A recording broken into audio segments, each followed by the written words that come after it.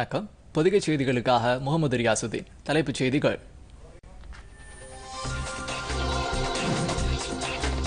பிரதமர் நரேந்திர மோடி நாளை மன் கி பாத் நிகழ்ச்சியின் மூலம் வானொலியில் நாட்டு மக்களுக்கு உரையாற்றுகிறார்.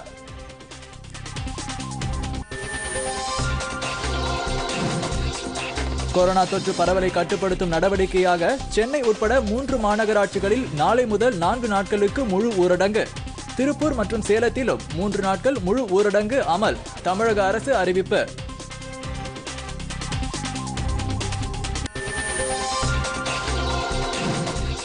புனித ரமலான் மாத நோன்பு தொடங்கியது.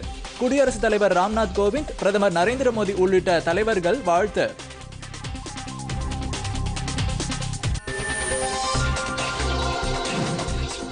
கொரோனா தொற்றால் இந்தியாவில் பாதிக்கப்பட்டோர் எண்ணிக்கை இருபத்தி நான்காயிரத்து ஐநூற்று ஆறாக உயர்வு. ஐயாயிரத்திற்கும் மேற்பட்டோர் குணமடைந்து வீடு திரும்பினர்.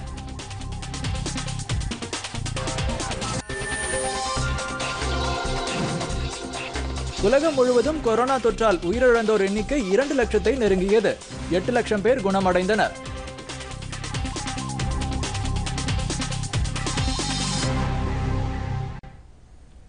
இனி விரிவான செய்திகள். பிரதமர் நரேந்திர மோடி மன் கி பாத் நிகழ்ச்சியின் மூலம் வானொலியில் நாளை நாட்டு மக்களுக்கு உரையாற்றுகிறார். அகில இந்திய வானொலியில் ஒலிபரப்பப்படும் மன் கி பாத் நிகழ்ச்சியின் மூலம் ஒவ்வொரு மாதமும் நாட்டு மக்களுக்கு உரையாற்றுகிறார். மத்திய அரசின் கொள்கைகள் மற்றும் திட்டங்கள் குறித்து அவர் மக்களுக்கு எடுத்துரைத்து வருகிறார். இந்நிலையில் அறுபத்தி நான்காவது மன் கி பாத் நிகழ்ச்சியில் நாளை பிரதமர் நரேந்திர மோடி மீண்டும் நாட்டு மக்களுக்கு உரையாற்றுகிறார். அகில இந்திய வானொலி மற்றும் தூர்தர்ஷன் தொலைக்காட்சியில் இந்த நிகழ்ச்சி ஒளிபரப்பாகிறது W W W dot news on air dot com என்ற இணையதளத்திலும் நியூஸ் ஆன் ஏர் என்ற கைபேசி செயலியிலும் மன் கி பாத் நிகழ்ச்சியை பொதுமக்கள் காணலாம். அகில இந்திய வானொலி தூர்தர்ஷன் செய்திகள் பிரதமர் அலுவலகம் மற்றும் தகவல் மற்றும் ஒலிபரப்புத்துறை அமைச்சகத்தின் யூடியூப் சேனல்களிலும் இந்த நிகழ்ச்சியை காண முடியும். ஹிந்தியில் ஒலிபரப்பப்படும் இந்த மன் கி பாத் நிகழ்ச்சி உடனடியாக பிராந்திய மொழிகளிலும் மொழிபெயர்க்கப்பட்டு ஒலிபரப்பப்படும். நாடு முழுவதும் ரமலான் பண்டிகை நோன்பு இன்று தொடங்கியது. இஸ்லாமியர்களின் ஐம்பெரும் கடமைகளில் ஒன்றான புனித ரமலான் மாதத்தின் ஒரு மாத கால நோன்பு பிறை தெரிந்ததால் இன்று நாடு முழுவதும் தொடங்கியது. கொரோனா தொற்றை முன்னிட்டு நாடு முழுவதும் தற்போது ஊரடங்கு உத்தரவு நீட்டிக்கப்பட்டுள்ளதால் இந்த ஆண்டு ரமலான் மாத நோன்பையும் தொழுகையையும் இஸ்லாமியர்கள் வீடுகளிலேயே கடைபிடிக்க வேண்டும் என்று மத்திய அரசு அறிவுறுத்தியுள்ளது.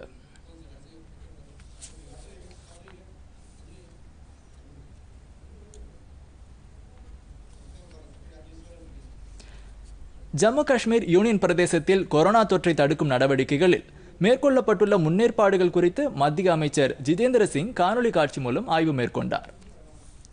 ஜம்மு காஷ்மீர் சுகாதாரத்துறை அதிகாரிகள் இந்த காணொலி ஆய்வுக் கூட்டத்தில் பங்கேற்றனர். ஜம்மு காஷ்மீரில் கொரோனா தொற்றை தடுக்க மேற்கொள்ளப்பட வேண்டிய நடவடிக்கைகள் குறித்தும் மக்கள் கடைபிடிக்க வேண்டிய நடைமுறைகள் குறித்தும் மத்திய அமைச்சர் எடுத்துரைத்தார். ஜம்மு காஷ்மீர் நிதி ஆணையர் அதல் துல்லு தலைமையில் ஒருங்கிணைக்கப்பட்டு வரும் தடுப்பு நடவடிக்கைகள் மூலம் ஜம்மு காஷ்மீரில் கொரோனா தொற்று பரவாமல் நடவடிக்கைகள் மேற்கொள்ளப்பட்டு வருவதாக அவர் தெரிவித்தார். கொரோனா பரவாமல் இருக்க ஜம்மு காஷ்மீரில் மேற்கொள்ளப்பட்டு வரும் தடுப்பு நடவடிக்கைகளையும் மத்திய அமைச்சர் பாராட்டினார். கொரோனா தொற்றால் பாதிக்கப்பட்டவர்களுக்கு சிகிச்சை அளித்து வரும் மருத்துவர்கள் மற்றும் மருத்துவ பணியாளர்களையும் அவர் ஊக்கப்படுத்தினார். ஜம்மு காஷ்மீரில் இதுவரை எண்ணூற்று ஐம்பது பரிசோதனைகள் மேற்கொள்ளப்பட்டுள்ளதாக கொரோனா தடுப்பு நடவடிக்கைகளை ஒருங்கிணைத்து வரும் அதல் துல்லு குறிப்பிட்டார். மத்திய வெளியுறவுத்துறை அமைச்சர் ஜெய்சங்கர் கத்தார் ஐக்கிய அரபு எமிரேட்ஸ் நீகர் பாலஸ்தீனம் மற்றும் செக் குடியரசு ஆகிய நாடுகளின் வெளியுறவுத்துறை அமைச்சர்களுடன் கொரோனா தொற்று தடுப்பு நடவடிக்கைகள் குறித்து இன்று ஆலோசனை நடத்தினார். இது குறித்து ட்விட்டரில் பதிவிட்டுள்ள அவர் கத்தார் வெளியுறவுத்துறை அமைச்சர் முகமது பின் அப்துல் ரஹ்மான் அல் தானியுடன் தொடர்பு கொண்டு கொரோனா தொற்று தடுப்பு நடவடிக்கைகள் குறித்து ஆலோசித்ததாக தெரிவித்துள்ளார். கத்தாரில் உள்ள இந்திய சமூகத்தினரின் நலனை காத்து வருவதற்கு அவருக்கு ஜெய்சங்கர் நன்றி கூறினார். இது போன்ற இக்கட்டான சூழ்நிலையில் இருதரப்பு நட்பு மேலும் வலுப்படும் என்றும் அவர் தெரிவித்தார். ஐக்கிய அரபு எமிரேட்ஸ் வெளியுறவுத்துறை அமைச்சர் ஷேக் அப்துல் பின் சாயித்துடன் தொலைபேசியில் தொடர்பு கொண்டு உரையாடியதாகவும் கொள்ளை நோய் உலகத்தை அச்சுறுத்து வரும் வேளையில் சர்வதேச ஒத்துழைப்பு அவசியமாவதாக தாம் தெரிவித்ததாகவும் அவர் பதிவிட்டுள்ளார். நீகர் வெளியுறவுத்துறை அமைச்சர் கல்லா அங்கோவ்ராவுடன் பேசியதாகவும் மருத்துவம் உள்ளிட்ட உதவிகள் வழங்கி கொரோனா தொற்றை எதிர்கொள்ள இந்தியா உதவும் என்றும் அவரிடம் உறுதியளித்ததாகவும் ஜெய்சங்கர் தெரிவித்துள்ளார். பாலஸ்தீன மற்றும் செக் குடியரசின் வெளியுறவுத்துறை அமைச்சர்களுடனும் தொடர்பு கொண்டு மருத்துவ உதவிகள் வழங்கப்படும் என்றும் இருதரப்பு ஒத்துழைப்பை மேம்படுத்துவது பணியாற்றுவது என்றும் உறுதியளித்ததாக அவர் கூறியுள்ளார்.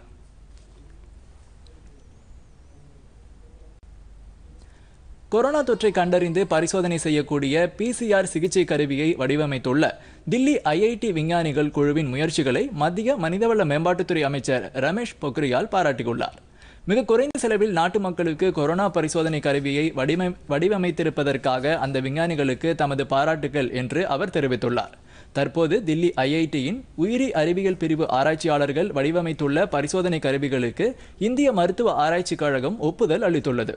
இது குறித்து மகிழ்ச்சி தெரிவித்துள்ள மத்திய அமைச்சர் இந்த பரிசோதனை கருவிகளின் தரம் நூறு சதவீதம் முழுமையாக உள்ளதாக ஐசிஎம்ஆர் குறிப்பிட்டிருப்பதை சுட்டிக்காட்டியுள்ளார்.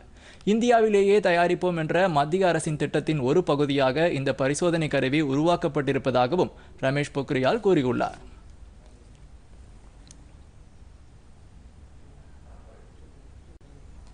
நாடு முழுவதும் ரமலான் பண்டிகை நோன்பு இன்று தொடங்குகிறது. இஸ்லாமியர்களின் ஐம்பெரும் கடமைகளில் ஒன்றான புனித ரமலான் மாதத்தின் ஒரு மாத கால நோன்பு பிறை தெரிந்ததால் இன்று நாடு முழுவதும் தொடங்கியது கொரோனா தொற்றை முன்னிட்டு நாடு முழுவதும் தற்போது ஊரடங்கு உத்தரவு நீட்டிக்கப்பட்டுள்ளதால் இந்த ஆண்டு ரமலான் மாத நோன்பையும் தொழுகையையும் இஸ்லாமியர்கள் வீடுகளிலேயே கடைபிடிக்க வேண்டும் என்று மத்திய அரசு அறிவுறுத்தியுள்ளது. ரமலான் பண்டிகையை முன்னிட்டு குடியரசுத் தலைவர் ராம்நாத் கோவிந்த் இஸ்லாமிய மக்களுக்கு வாழ்த்து தெரிவித்துள்ளார். இது தொடர்பாக அவர் வெளியிட்டுள்ள வாழ்த்துச் செய்தியில் நாட்டில் உள்ள இஸ்லாமியர்கள் அனைவருக்கும் தாம் ரமலான் வாழ்த்துக்களை தெரிவித்துக் கொள்வதாகவும் ஒழுக்கம் மற்றும் கட்டுப்பாடுகளுடன் ரமலான் பண்டிகை தொழுகையை கடைபிடித்து கொரோனா தொற்றை முறியடிப்போம் என்றும் கூறியுள்ளார்.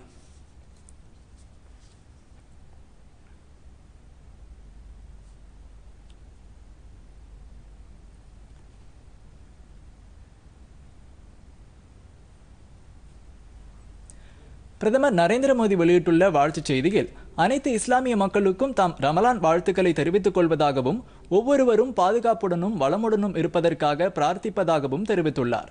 புனித ரமலான் மாதம் நமக்கு கருணை மனிதநேயம் இரக்கத்தை கொண்டு வரட்டும் என்றும் கொரோனாவுக்கு எதிரான போரில் வெற்றி பெற்று ஆரோக்கியமான பூமியை உருவாக்குவோம் என்றும் பிரதமர் குறிப்பிட்டுள்ளார்.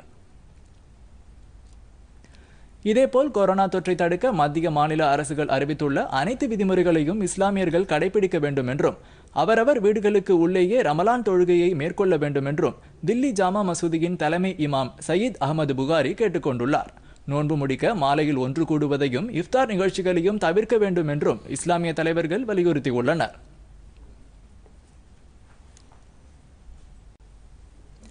உலக மலேரியா தினத்தை முன்னிட்டு நாட்டிலிருந்து மலேரியாவை முற்றிலுமாக அகற்றுவோம் என்று உறுதியேற்போம் என சுகாதாரத்துறை அமைச்சகம் கேட்டுக்கொண்டுள்ளது. சர்வதேச அளவில் ஏப்ரல் இருபத்தி ஐந்தாம் தேதி உலக மலேரியா தினமாக கடைபிடிக்கப்படுகிறது. மலேரியாவை கட்டுப்படுத்த எடுக்கப்படும் நடவடிக்கைகளை பாராட்டும் வகையில் இந்த தினம் கடைபிடிக்கப்படுகிறது. இது குறித்து சுகாதாரத்துறை அமைச்சகம் வெளியிட்டுள்ள அறிவிப்பில் பெண் அனாஃபிலஸ் கொசுகளால் மலேரியா பரப்பப்படுவதாகவும் இவற்றை அழிப்பதன் மூலம் மலேரியாவை எளிதில் கட்டுப்படுத்த முடியும் என்றும் கூறப்பட்டுள்ளது. இந்த நோயிலிருந்து பொதுமக்கள் தங்களை தற்காத்துக் கொள்ள சுற்றுப்புறத்தை தூய்மையாக வைத்துக் கொள்ளவும் கொசு உற்பத்தியை தடுக்கும் வகையில் செயல்பட வேண்டும் என்றும் கேட்டுக்கொண்டுள்ளது வங்கி சேவைகளை அடுத்த ஆறு மாதத்திற்கு பொது சேவைகளாக அறிவித்து மத்திய அரசு உத்தரவிட்டுள்ளது. தொழில்துறை சட்டத்தின் கீழ் இந்த நடவடிக்கை மேற்கொள்ளப்பட்டுள்ளதாக மத்திய தொழிலாளர் அமைச்சகம் வெளியிட்டுள்ள அறிவிக்கையில் கூறப்பட்டுள்ளது. இதன் மூலம் அடுத்த ஆறு மாதத்திற்கு வங்கி ஊழியர்கள் வேலை நிறுத்தத்தில் ஈடுபட முடியாது. இந்த உத்தரவு கடந்த இருபத்தி ஓராம் தேதி முதல் அக்டோபர் மாதம் இருபத்தி ஓராம் தேதி வரை அமலில் இருக்கும் என மத்திய அரசு கூறியுள்ளது. பல்கலைக்கழகங்கள் மற்றும் கல்லூரிகளில் வரும் கல்வியாண்டை செப்டம்பர் மாதம் முதல் தொடங்குவதற்கு பல்கலைக்கழக மானியக் குழுவின் வல்லுநர்கள் பரிந்துரைத்துள்ளனர். கொரோனா தொற்றால் நடப்பு கல்வியாண்டில் மார்ச் ஏப்ரலில் உயர்கல்வி பணிகள் முற்றிலுமாக முடங்கியுள்ளது. இதன் காரணமாக ஊரடங்கு முடிந்த பிறகு கல்லூரிகளில் விடுபட்ட பாடங்கள் தொடரவும் நடப்பு கல்வியாண்டுக்கான தேர்வுகளை நடத்தவும் கால அவகாசம் தேவைப்படுகிறது. பொதுவாக மே மாதத்தில் கல்வியாண்டு தேர்வுகள் நடத்தப்படுவது வழக்கம். அடுத்த கல்வியாண்டு ஜூலை மாதம் தொடங்கும். தற்போது கொரோனா தொற்று பாதிப்புகளால் தேர்வுகள் தாமதமாக நடத்தப்படுவதால் ஜூலைக்கு பதிலாக செப்டம்பர் மாதத்தில் புதிய கல்வியாண்டை தொடங்க பல்கலைக்கழக மானியக் குழு அமைத்த இரண்டு வல்லுநர் குழுக்கள் பரிந்துரைத்துள்ளன. ஹரியானா பல்கலைக்கழக துணைவேந்தர் ஆர் சி கூஹட் தலைமையில் ஒரு குழுவும் இந்திரா காந்தி திறந்தநிலை பல்கலைக்கழகத்தின் துணைவேந்தர் நாகேஸ்வர ராவ் தலைமையில் மற்றொரு குழுவும் இதற்காக அமைக்கப்பட்டிருந்தது. இந்த குழுக்கள் தனது பரிந்துரையை நேற்று வழங்கியுள்ளன. இதன்படி இணையதளம் வாயிலாக தேர்வுகளை நடத்த அனுமதிப்பது என்றும் செப்டம்பர் மாதம் புதிய கல்வியாண்டை தொடங்க அறிவுறுத்தலாம் என்றும் பரிந்துரைக்கப்பட்டுள்ளது. இது குறித்து ஆராய்ந்த பிறகு உரிய முடிவு எடுக்கப்படும் என மத்திய மனிதவள மேம்பாட்டுத்துறை அமைச்சக அதிகாரிகள் தெரிவித்துள்ளனர். கொரோனா தொற்றால் இந்தியாவில் பாதிக்கப்பட்டோர் எண்ணிக்கை இருபத்து நான்காயிரத்து ஐநூற்று ஆறாக உயர்ந்துள்ளது. தொற்றுக்கு இதுவரை எழுநூற்று எழுபத்தி ஐந்து பேர் பலியாகியுள்ளனர். நாட்டில் கோவிட் பத்தொன்பதால் பாதிக்கப்பட்டவர்களின் எண்ணிக்கை இருபத்தி நான்காயிரத்து ஐநூற்று ஆறாக அதிகரித்துள்ளது. இன்று காலை வரை இந்தியா முழுவதும் உயிரிழப்பு எழுநூற்று எழுபத்தி ஐந்தாக உயர்ந்துள்ளதாக மத்திய சுகாதாரத்துறை அமைச்சகம் தெரிவித்துள்ளது. அத்துடன் ஐந்தாயிரத்து அறுபத்தி இரண்டு பேர் குணமடைந்ததாக மத்திய அரசு தெரிவித்துள்ளது. இருப்பினும் பதினெட்டாயிரத்து அறுநூற்று அறுபத்தி எட்டு பேருக்கு தொற்று தீவிரமாக உள்ளது என்று கண்டறியப்பட்டுள்ளது. மகாராஷ்டிராவில் அதிகபட்சமாக ஆறாயிரத்து எண்ணூற்று பதினேழு பேர் பாதிக்கப்பட்டு எண்ணூற்று நாற்பது பேர் குணமடைந்தனர். முன்னூற்றோரு பேர் உயிரிழந்தனர். அம்மாநிலத்தில் ரிசர்வ் காவல்படையைச் சேர்ந்த மூன்று பேருக்கு நோய் தொற்று உறுதியானது. ஆந்திராவில் தொள்ளாயிரத்து ஐம்பத்தி ஐந்து பேர் கொரோனா தொற்றால் பாதிக்கப்பட்டுள்ளனர். அங்கு இதுவரை நூற்று நாற்பத்தி ஐந்து பேர் குணமடைந்து வீடு திரும்பியுள்ளனர். இருபத்தி ஒன்பது பேர் கொரோனா தொற்றால் உயிரிழந்துள்ளனர். குஜராத்தில் இரண்டாயிரத்து எண்ணூற்று பதினைந்து பேர் பாதிக்கப்பட்டு இருநூற்று அறுபத்தி ஐந்து பேர் குணமடைந்தனர். நூற்று இருபத்தி ஏழு பேர் உயிரிழந்தனர். தில்லியில் இரண்டாயிரத்து ஐநூற்று பதினான்கு பேர் பாதிக்கப்பட்டு எண்ணூற்று ஐம்பத்தி ஏழு பேர் குணமடைந்தனர். ஐம்பத்தி மூன்று பேர் உயிரிழந்தனர். கேரளாவில் நானூற்று ஐம்பது பேர் பாதிக்கப்பட்டு முன்னூற்று முப்பத்தோரு பேர் குணமடைந்துள்ளனர். மூன்று பேர் உயிரிழந்தனர். ராஜஸ்தானில் பாதிக்கப்பட்டவர்களின் எண்ணிக்கை இரண்டாயிரத்து முப்பத்தி நான்காக உள்ளது. இம்மாநிலத்தில் இருநூற்று முப்பது பேர் குணமடைந்து வீடு திரும்பியுள்ளனர். இருபத்தி ஏழு பேர் உயிரிழந்துள்ளனர். தமிழகத்தில் நேற்று ஒரே நாளில் எழுபத்தி இரண்டு பேருக்கு கொரோனா தொற்று உறுதிப்படுத்தப்பட்டுள்ளது. சென்னையில் மட்டும் புதிதாக ஐம்பத்தி இரண்டு பேருக்கு கொரோனா பாதிப்பு உள்ளது உறுதி செய்யப்பட்டுள்ளது. இதுவரை ஆயிரத்து எழுநூற்று ஐம்பத்தி ஐந்து பேருக்கு தமிழகத்தில் கொரோனா பாதிப்பு கண்டறியப்பட்டுள்ளதாக தமிழக அரசின் சுகாதாரத்துறை வெளியிட்டுள்ள செய்திக்குறிப்பில் தெரிவிக்கப்பட்டுள்ளது. மாநிலம் முழுவதும் நேற்று நூற்று பதினான்கு பேர் தொற்றிலிருந்து குணமடைந்து வீடு திரும்பியுள்ள நிலையில் இதுவரை எண்ணூற்று அறுபத்தி ஆறு பேர் கொரோனா தொற்றிலிருந்து குணமடைந்துள்ளதாக தெரிவிக்கப்பட்டுள்ளது. தற்போது எண்ணூற்று அறுபத்தி நான்கு பேர் சிகிச்சை பெற்று வருகின்றனர். கொரோனாவுக்கு இருபத்தி இரண்டு பேர் உயிரிழந்துள்ளனர். இதனிடையே நாடு முழுவதும் கோவிட் பரிசோதனைக்காக முன்னூற்று இருபத்தி ஐந்து ஆய்வகங்கள் செயல்பட்டு வருவதாக இந்திய மருத்துவ ஆராய்ச்சி கவுன்சில் தெரிவித்துள்ளது.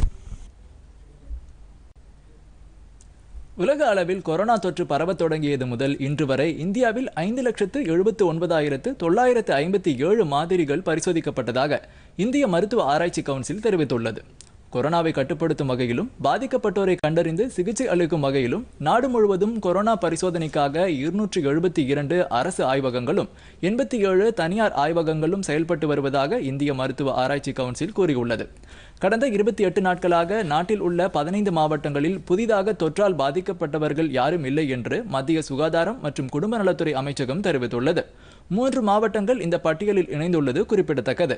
கடந்த பதினான்கு நாட்களாக இருபத்தி மூன்று மாநிலங்கள் மற்றும் யூனியன் பிரதேசத்தில் உள்ள எண்பது மாவட்டங்களிலிருந்தும் யாரும் புதிதாக தொற்றால் பாதிக்கப்பட்டதாக தகவல் இல்லை என்றும் அமைச்சகம் கூறியுள்ளது. இதற்கிடையே சுகாதாரத்துறை அமைச்சர் ஹர்ஷ்வர்தன் இரத்த தானம் செய்யப்படுவதை செஞ்சிலுவை சங்கம் முடிவு செய்ய வேண்டும் என்றும் இரத்த தானம் செய்வோருக்கு வேண்டிய வாகன வசதிகளை ஏற்பாடு செய்ய வேண்டும் என்றும் கேட்டுக்கொண்டுள்ளார். இதற்கிடையே தில்லியில் நேற்று செய்தியாளர்களை சந்தித்த நிதி ஆயோக்கின் வி கே பால் ஊரடங்கு காரணமாக கொரோனா தொற்று பரவல் இரட்டிப்பாகும் விகிதம் மிகவும் குறைந்துள்ளதாக குறிப்பிட்டுள்ளார். எனவே ஊரடங்கை பொதுமக்கள் கண்டிப்புடனும் சுய கட்டுப்பாடுடனும் அவசியம் பின்பற்ற வேண்டும் என்று அவர் வேண்டுகோள் விடுத்தார்.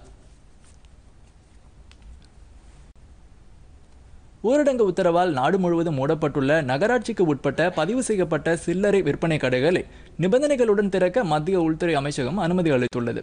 குடியிருப்பு பகுதிகளில் உள்ள வணிக வளாகங்களில் செயல்படும் சில்லறை விற்பனை கடைகள் சந்தை வணிக வளாகங்கள் ஆகியவை இதில் அடங்கும்.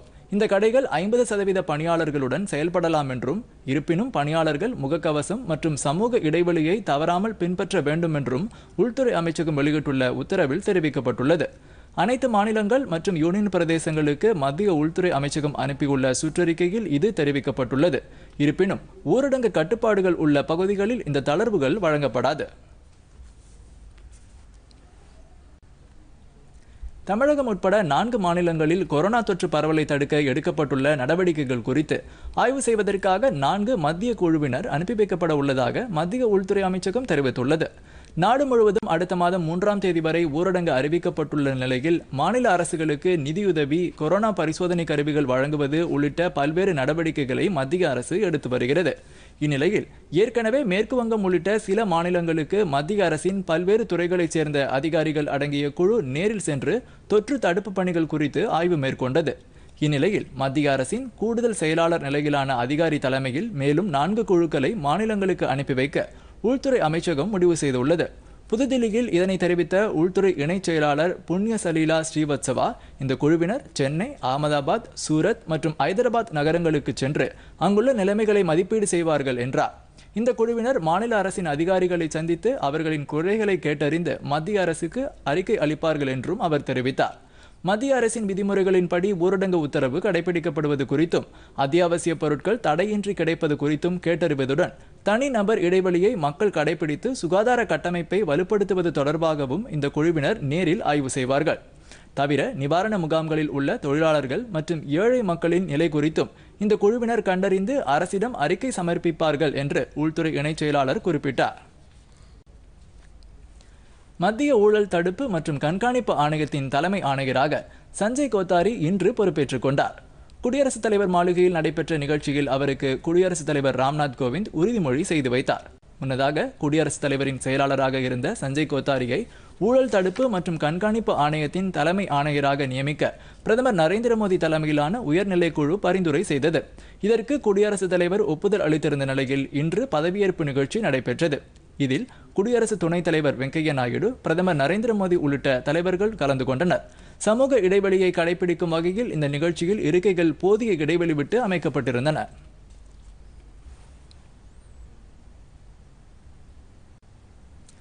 ஜம்மு காஷ்மீரின் புல்வாமா மாவட்டத்தில் பாதுகாப்பு படையினருக்கும் தீவிரவாதிகளுக்கும் இடையே இன்று அதிகாலை நிகழ்ந்த துப்பாக்கிச் சண்டையில் இரண்டு தீவிரவாதிகள் உட்பட மூன்று பேர் கொல்லப்பட்டனர். அவந்திப்போராவில் அரங்கிய கோரிப்போரா என்ற இடத்தில் பாதுகாப்பு படையினர் தேடுதல் வேட்டையில் ஈடுபட்டிருந்த போது தீவிரவாதிகள் நடமாட்டம் இருப்பது குறித்த தகவல் கிடைத்தது. இதையடுத்து பாதுகாப்பு படையினரை நோக்கி தீவிரவாதிகள் துப்பாக்கியால் சுட்டதாகவும் பதிலடி தாக்குதல் நடத்தியதில் இரண்டு முக்கிய தீவிரவாதிகளும் அவர்களுக்கு உதவிய நபர் ஒருவரும் சுட்டுக் கொல்லப்பட்டதாகவும் ஸ்ரீநகரில் காவல்துறை அதிகாரி ஒருவர் தெரிவித்தார். தொடர்ந்து அந்த பகுதியில் தேடுதல் வேட்டை தீவிரப்படுத்தப்பட்டுள்ளது.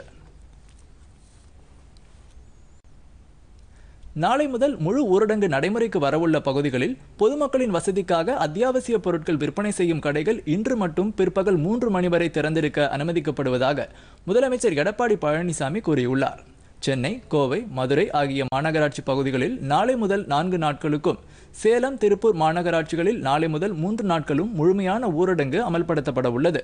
இது தவிர திருவள்ளூர் செங்கல்பட்டு காஞ்சிபுரம் ஆகிய மாவட்டங்களின் சில பகுதிகளிலும் முழு ஊரடங்கு நாளை முதல் நடைமுறைப்படுத்தப்பட உள்ளது. இதனை கருத்தில் கொண்டு பொதுமக்களின் வசதிக்காக இன்று மட்டும் மளிகை உள்ளிட்ட அத்தியாவசிய பொருட்களை விற்பனை செய்யும் கடைகள் பிற்பகல் மூன்று மணி வரை திறந்திருக்க அனுமதிக்கப்படுவதாக த- முதலமைச்சர் எடப்பாடி பழனிசாமி இன்று வெளியிட்டுள்ள அறிக்கையில் கூறியுள்ளார். பொதுமக்கள் பொருட்களை வாங்க செல்லும்போது சமூக இடைவெளியை பின்பற்றி முழு ஒத்துழைப்பு வழங்க வேண்டும் என்றும் முதலமைச்சர் கேட்டுக்கொண்டுள்ளார். சென்னை மாநகராட்சி பகுதிகளில் கொரோனா தொற்று தடுப்பு நடவடிக்கைகள் குறித்து மத்திய குழு இன்று தமிழக உயர் அதிகாரிகளுடன் ஆலோசனை நடத்தியது. கொரோனா தொற்று தடுப்பு நடவடிக்கையின் ஒரு பகுதியாக நாட்டின் பல்வேறு பகுதிகளுக்கும் மத்திய குழுவினர் சென்று அந்தந்த பகுதி நிலவரம் குறித்து ஆய்வு செய்து வருகின்றனர். அதன் ஒரு பகுதியாக தேசிய பேரிடர் மேலாண்மை ஆணைய கூடுதல் செயலாளர் டாக்டர் வி. திருப்புகழ் தலைமையிலான மத்திய குழு சென்னை வந்துள்ளது. இந்த குழுவினர் சென்னை ரிப்பன் மாளிகையில் நடைபெற்ற ஆய்வுக் கூட்டத்தில் பங்கேற்றனர். இதில் தமிழக வருவாய் நிர்வாக ஆணையர் டாக்டர் ராதாகிருஷ்ணன் சென்னை மாநகராட்சி ஆணையர் பிரகாஷ் சென்னை மாநகர காவல் ஆணையர் விஸ்வநாதன் உள்ளிட்ட உயரதிகாரிகளும் கலந்து கொண்டனர். இக்கூட்டத்தில் சென்னை நகரில் மேற்கொள்ளப்பட்டு வரும் கொரோனா தொற்று தடுப்பு மற்றும் முன்னெச்சரிக்கை நடவடிக்கைகள் குறித்து விரிவாக ஆலோசிக்கப்பட்டது.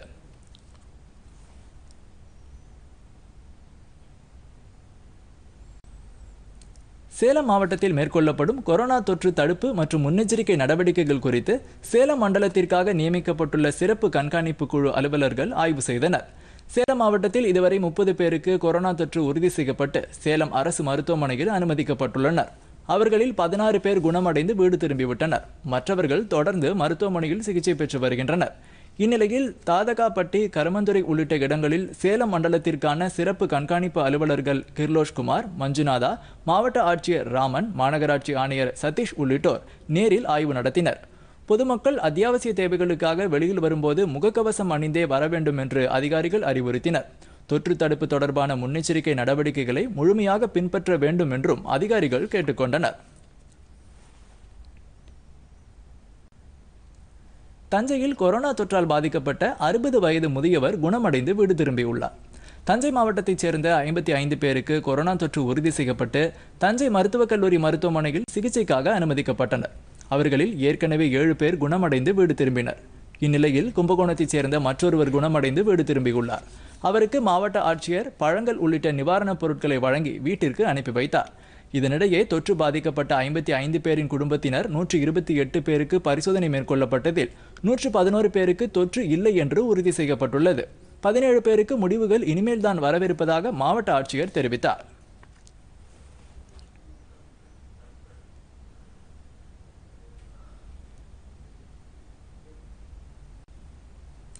மத்திய மனிதவள மேம்பாட்டுத்துறை அமைச்சகத்தின் கீழ் செயல்பட்டு வரும் திருச்சி தேசிய தொழில்நுட்ப கழகம் கொரோனாவை தடுப்பதற்கான தொழில்நுட்ப ஆராய்ச்சியில் ஈடுபட்டு உதவி வருகிறது. இதன்படி முப்பரிமாண மறுபயன்பாட்டிற்கு உதவும் முகக்கவசங்கள் தயாரிக்கப்பட்டு திருச்சி மருத்துவக் கல்லூரி மருத்துவமனைக்கு வழங்கப்பட்டுள்ளதாக தேசிய தொழில்நுட்பக் கழகத்தின் இயக்குனர் மினி சாஜி தாமஸ் கூறியுள்ளார்.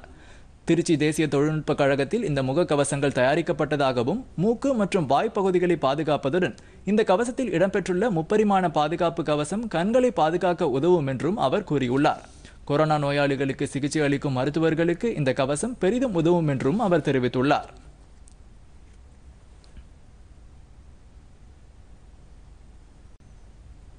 சென்னையில் நேற்று காலை முதல் இன்று காலை வரை நூற்று நாற்பத்தி நான்கு தடை உத்தரவை மீறிய குற்றத்திற்காக இரண்டாயிரத்து நானூற்று எட்டு வழக்குகள் பதிவு செய்யப்பட்டுள்ளதாக மாநகர காவல்துறை தெரிவித்துள்ளது.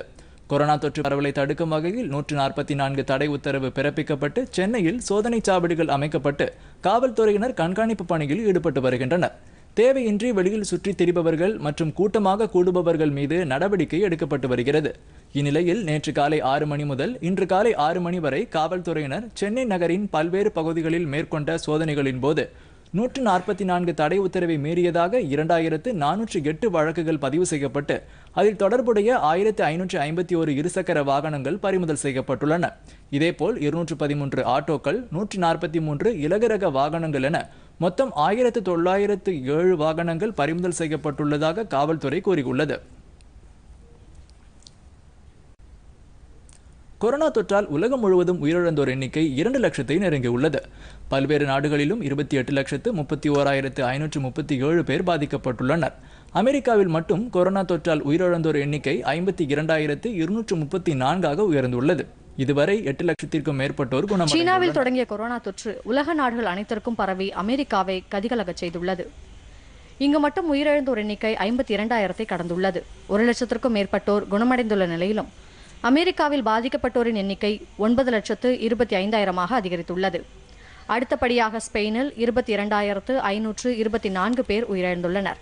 அங்கு இரண்டு லட்சத்து பத்தொன்பதாயிரத்து எழுநூற்று அறுபத்தி நான்கு பேர் பாதிக்கப்பட்டுள்ளனர். இத்தாலியில் ஒரு லட்சத்து தொன்னூற்று இரண்டாயிரத்து தொள்ளாயிரத்து தொன்னூற்று நான்கு பேர் பாதிக்கப்பட்டிருப்பதுடன் இருபத்தி ஐந்தாயிரத்து தொள்ளாயிரத்து அறுபத்து ஒன்பது பேர் உயிரிழந்துவிட்டனர். பிரான்சில் ஒரு லட்சத்து ஐம்பத்தொன்பதாயிரத்து எண்ணூற்று இருபத்தி எட்டு பேர் பாதிக்கப்பட்டு இருபத்தி இரண்டாயிரத்து இருநூற்று நாற்பத்தி ஐந்து பேர் உயிரிழந்துள்ளனர். ஜெர்மனியை பொறுத்தவரை பாதிக்கப்பட்டோரின் எண்ணிக்கை ஒரு லட்சத்து ஐம்பத்தி ஐந்தாயிரத்தை எட்டியுள்ளது. உயிரிழப்பு ஐந்தாயிரத்து எழுநூற்று அறுபதாக உயர்ந்துள்ளது. பிரிட்டனில் பத்தொன்பதாயிரத்து ஐநூற்று ஆறு பேர் உயிரிழந்துள்ளனர். ஒரு லட்சத்து நாற்பத்தி மூன்றாயிரத்து நானூற்று அறுபத்தி நான்கு பேர் பாதிக்கப்பட்டுள்ளனர். பிரிட்டன் பிரதமர் போரிஸ் ஜான்சன் கொரோனா தொற்று பாதிப்பிலிருந்து மீண்டுள்ளார். அவர் வரும் திங்கட்கிழமை முதல் வழக்கமான பணிகளை தொடங்குவார் என அந்நாட்டு அரசு அறிவித்துள்ளது. துருக்கியில் ஒரு லட்சத்து நான்காயிரத்து தொள்ளாயிரத்து பன்னிரண்டு பேர் பாதிக்கப்பட்டு இரண்டாயிரத்து அறுநூறு பேர் உயிரிழந்துள்ளனர். இதற்கிடையே பாகிஸ்தான் ஊரடங்கு உத்தரவை அடுத்த மாதம் ஒன்பதாம் தேதி வரை நீட்டித்து அந்நாட்டு அரசு உத்தரவிட்டுள்ளது. அங்கு இருநூற்று ஐம்பத்தி மூன்று பேர் உயிரிழந்திருப்பதுடன் பதினோராயிரத்து தொள்ளாயிரத்து நாற்பது பேர் கொரோனா தொற்றால் பாதிக்கப்பட்டுள்ளனர்.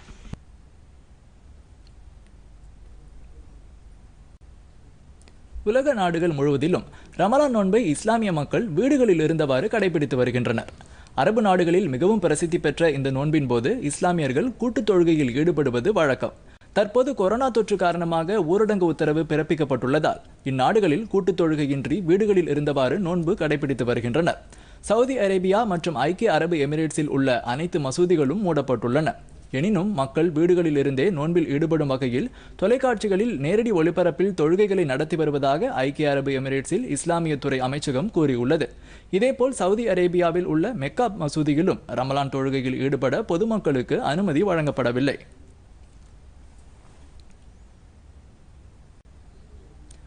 கொரோனா தொற்றால் உலகின் பெரும்பாலான நாடுகளில் ஊரடங்கு அமல்படுத்தப்பட்டுள்ள நிலையில் அமெரிக்கா உள்ளிட்ட நாடுகளில் பல பகுதிகளில் ஊரடங்கு பகுதி அளவு தளர்த்தப்பட்டு வருகிறது.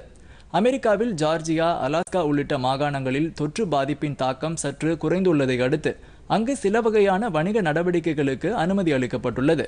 இந்த மாகாணங்களில் சில்லறை விற்பனை கடைகள் உணவகங்கள் முடித்திருத்தும் நிலையங்கள் உள்ளிட்டவை கட்டுப்பாடுகளுடன் செயல்பட அனுமதிக்கப்பட்டுள்ளது.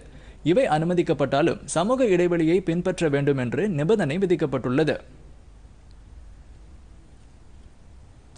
பிரான்சில் மார்ச் பதினேழாம் தேதி முதல் ஊரடங்கு அமலில் உள்ளது. அந்நாட்டில் மே பதினோராம் தேதி தொடங்கி படிப்படியாக ஊரடங்கு தளர்த்தப்படும் என்று அதிகாரிகள் தெரிவித்துள்ளனர். சுற்றுலாத்துறையில் முன்னணியில் உள்ள பிரான்சில் நட்சத்திர விடுதிகள் கேளிக்கை விடுதிகள் உள்ளிட்ட சுற்றுலா தொடர்பான வணிக செயல்பாடுகள் இந்த ஆண்டின் பிற்பகுதி வரை அனுமதிக்கப்பட மாட்டாது என தகவல்கள் தெரிவிக்கின்றன.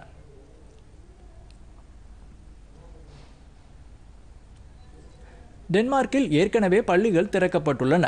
மேலும் சில வகையான வணிக நடவடிக்கைகளுக்கு கட்டுப்பாடுகளுடன் அனுமதி வழங்கப்பட்டுள்ளது. கொரோனா தொற்றால் அதிகம் பாதிக்கப்பட்டுள்ள ஸ்பெயின் பிரிட்டன் போன்ற நாடுகளிலும் ஊரடங்கு படிப்படியாக தளர்த்தப்படுகிறது.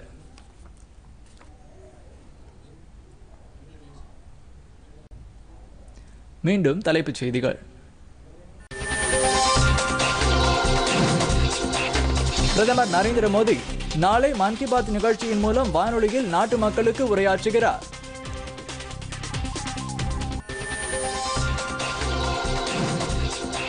கொரோனா தொற்று பரவலை கட்டுப்படுத்தும் நடவடிக்கையாக சென்னை உட்பட மூன்று மாநகராட்சிகளில் நாளை முதல் நான்கு நாட்களுக்கு முழு ஊரடங்கு. திருப்பூர் மற்றும் சேலத்திலும் மூன்று நாட்கள் முழு ஊரடங்கு அமல் தமிழக அரசு அறிவிப்பு.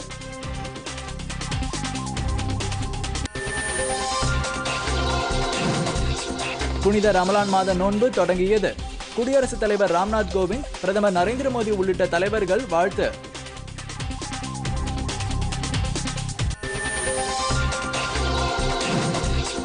கொரோனா தொற்றால் இந்தியாவில் பாதிக்கப்பட்டோர் எண்ணிக்கை இருபத்தி நான்காயிரத்து ஐநூற்று ஆறாக உயர்வு. ஐயாயிரத்திற்கும் மேற்பட்டோர் குணமடைந்து வீடு திரும்பினர்.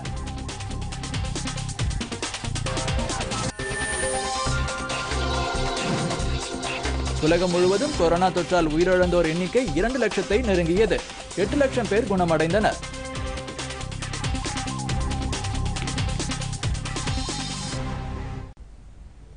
பொதிகை செய்திகளை யூடியூபில் தமிழ் நியூஸ் தூர்தர்ஷன் என்ற சேனலிலும் ட்விட்டரில் Tamil news Doordarshan at DD news Chennai என்ற பக்கத்திலும் காணலாம்.